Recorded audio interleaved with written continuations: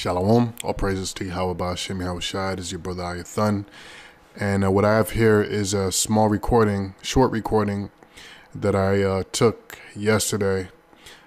I saw a uh, utility van. I've been seeing utility vans everywhere. Everywhere. Seems like every block or every other block, there's a utility van either digging underneath the ground or up on a telephone wire doing something. So I noticed one on my block yesterday, and the spirit told me that they're uh, installing 5G. So I I uh, approached one of the guys. Actually, uh, I think they're on lunch break. It was around noon, 12:30, something like that. But I noticed one guy in a pickup truck down the street. Spirit told me that uh, he was with them and probably just watching over the equipment. So anyway, um, I spoke to him and um, I recorded the conversation. It's short. It's not a whole lot of information, but he did confirm that it's 5G that they're installing and they're moving at a fast pace and that they're behind schedule. And um, I kind of approached them in a like a coy manner, a concerned, scared citizen.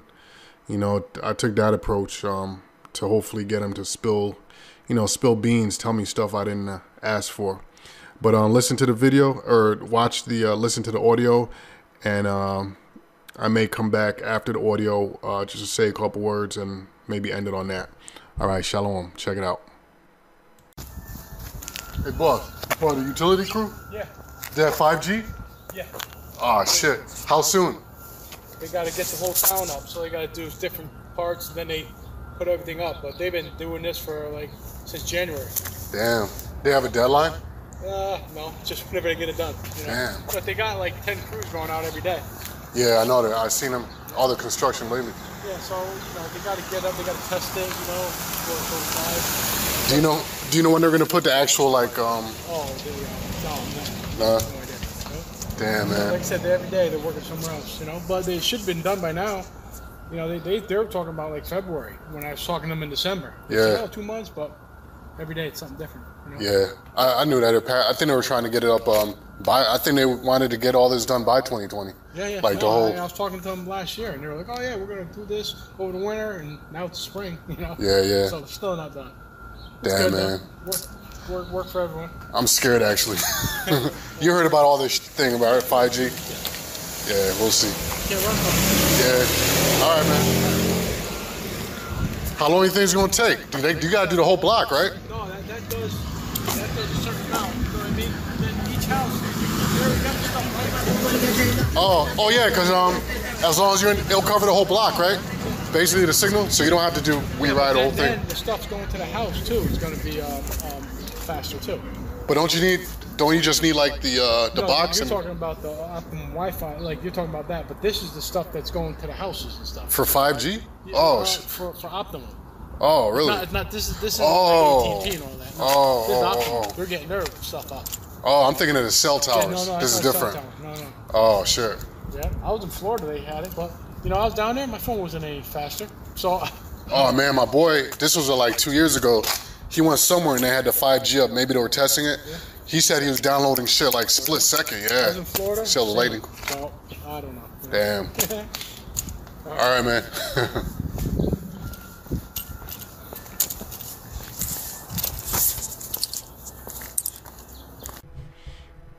All right, brothers, sisters, I'm back.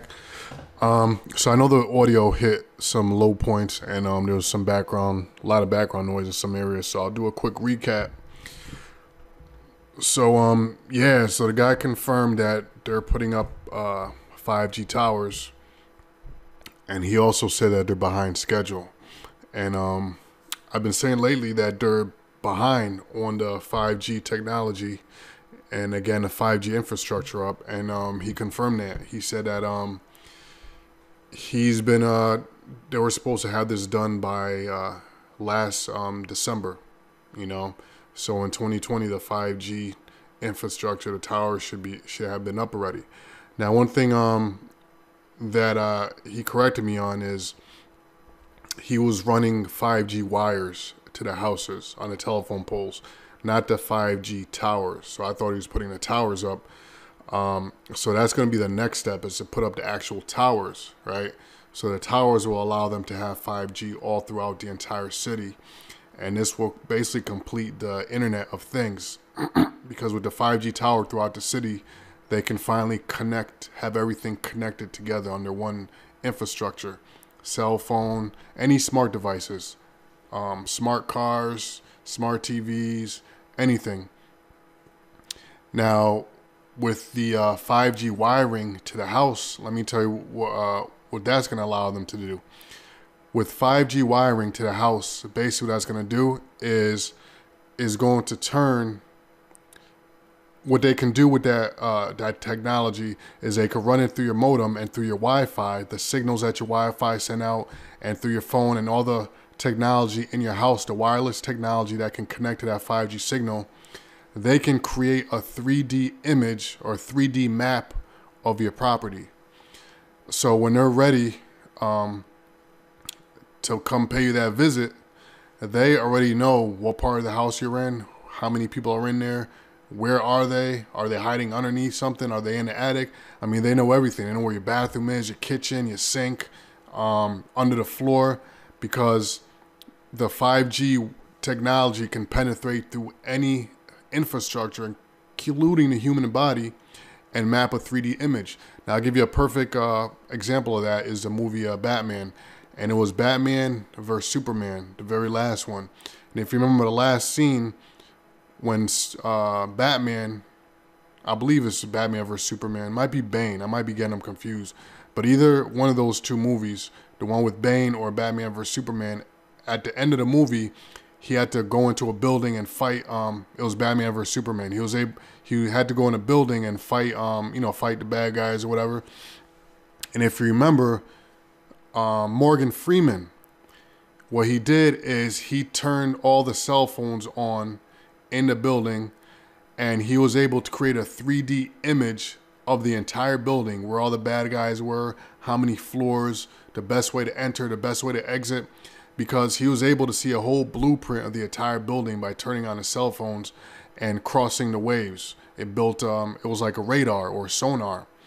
So with this 5G technology, they can map your entire house. Matter of fact, if you have an Xbox One, the Xbox One, which is old now, it's old gen, old technology, but that is already outfitted with um, technology that can map your entire house.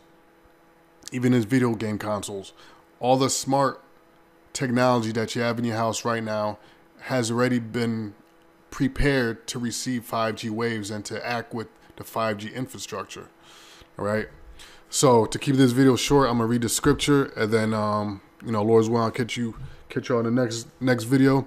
So the scriptures are First Peter chapter five, verse six. It says, "Humble yourselves, therefore, under the mighty hand of the Most High, that He may exalt you in due time." Verse 7 and casting all your care upon him for he careth for you. Right brothers and sisters? So there's no uh, there's no reason to be afraid.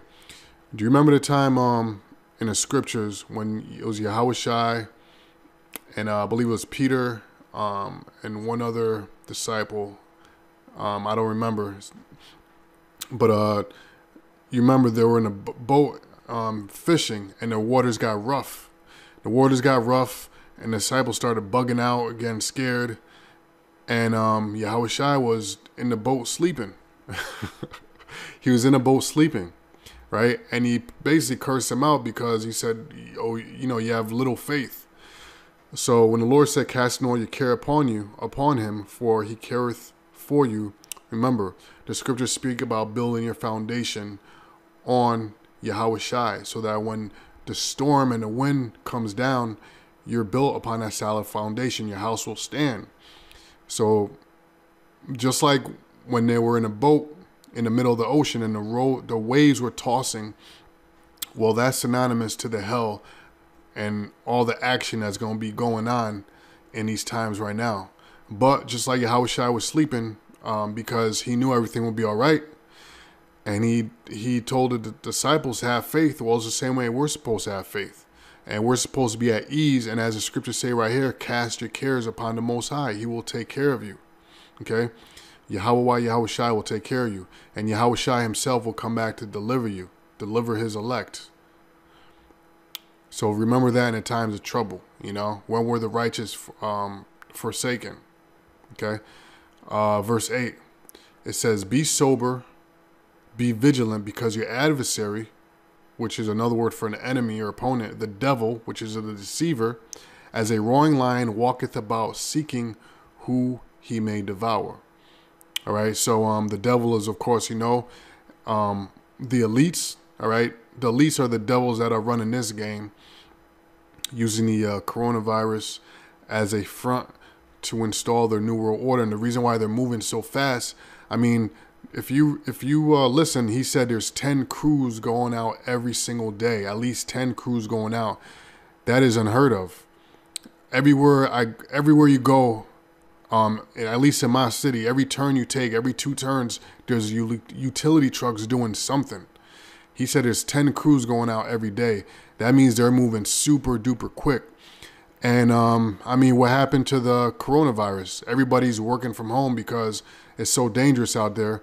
Well, if that's the case, why do they have all their boys out there um, installing uh, these cables? You know, they're in a truck, a couple of them in a truck together, and they're you know going around the city installing cables. What is it so? What what is why is it so important to put it up and to go so fast? Why can't they wait until the pandemic pandemic is over and everything is safe? I mean, you know, the scriptures say, "Be sober, be vigilant." So you got to ask yourself these analytical questions to figure out what the hell is going on. But you know what?